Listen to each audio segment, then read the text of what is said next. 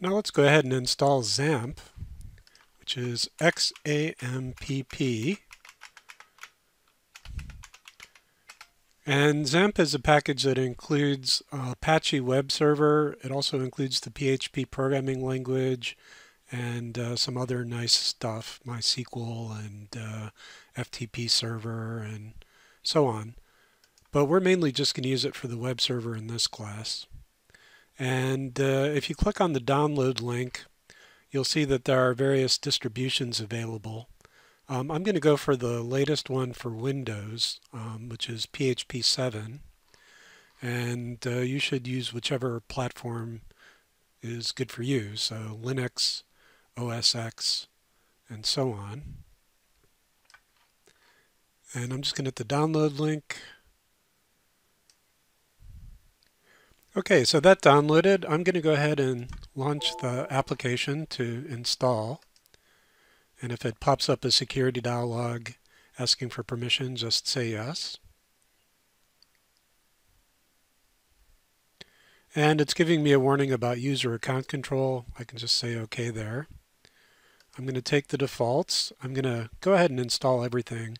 Um, for this class, I mainly just need Apache, but um, but I do want to have PHP and some other stuff too. So um, the default folder is fine in um, OS X, this is going to be under C, or I'm sorry, it's going to be under Applications, XAMPP files, and there will be a whole folder there. And uh, take the defaults, ignore that pop-up, go back here and hit Next.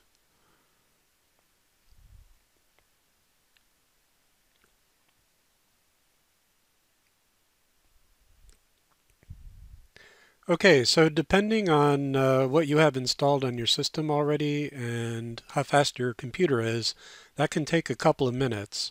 And don't worry if it uh, warns you that setup is not responding along the way. It just has to sort through some files. Um, I'm not going to launch Control Panel to start. I'm going to show you how to do that manually because you need to know that later. Um, so I'm just going to hit Finish now. Okay, so I'm going to go to my C folder and you should have a folder called XAMPP under that. And uh, on OS X it's going to be in Applications XAMPP files. And uh, under that I'm going to scroll down and find something called XAMPP control and uh, on Mac it's OS X Manager. And I'm going to run this as administrator, right click and run as administrator. Allow it to make changes. Select the language as English the first time. And uh, you should see something similar to this.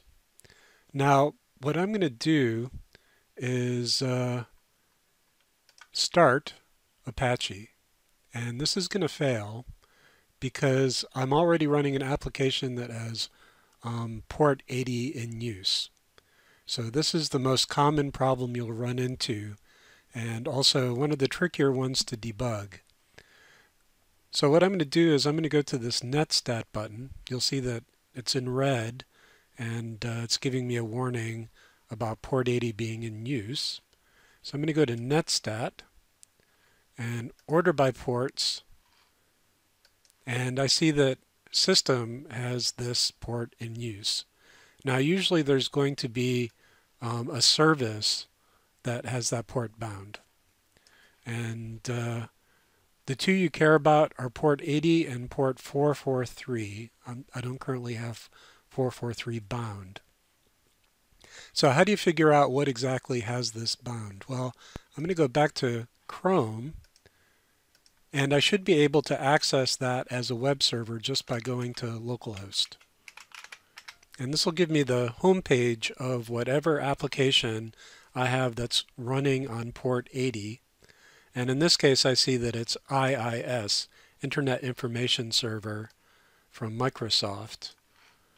And I'm going to go to Control Panel, Administrative Tools, Services, And I'm going to try to find the Internet Information Service service.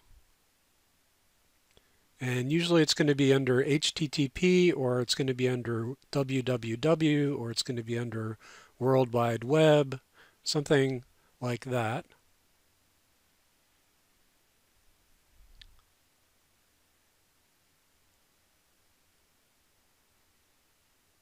And this Win HTTP web proxy auto discovery service is probably not it.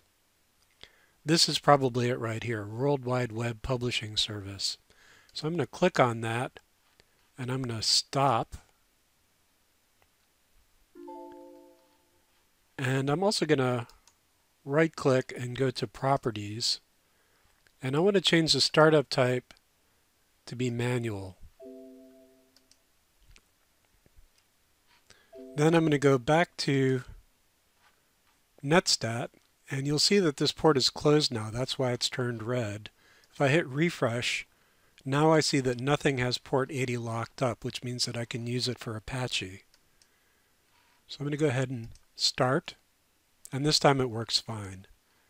And uh, I'm also going to go ahead and start MySQL for later on. I'm not going to use it for a while, but I want to have it there. And then you can configure these things to start up automatically every time you reboot your system by clicking these little checkboxes.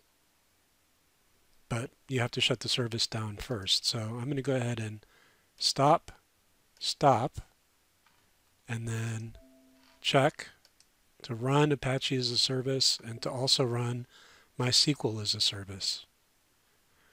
Now if I go back to Netstat and hit refresh,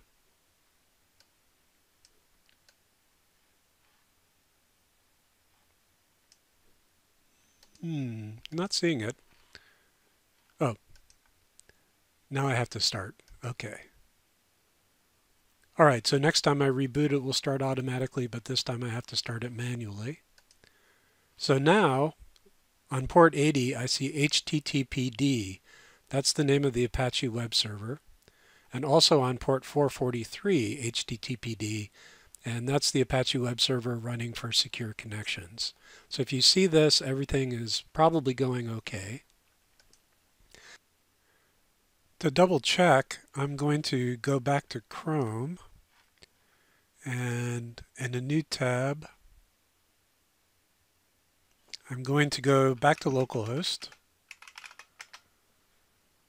And this is what I should see. So this is showing the XAMPP installation, XAMPP Apache running uh, as my web server and uh, the version that I downloaded.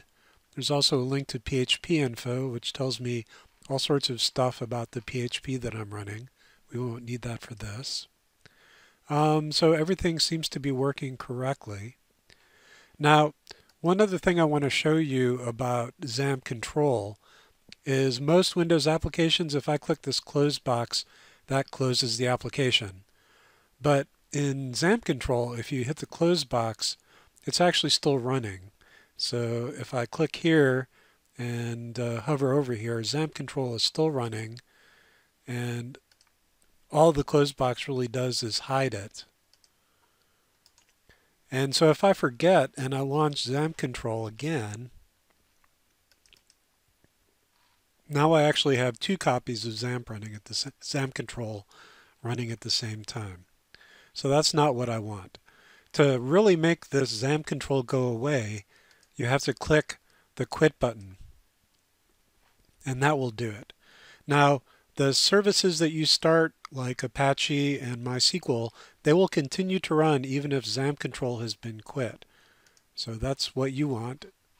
So if I hit reload, still works.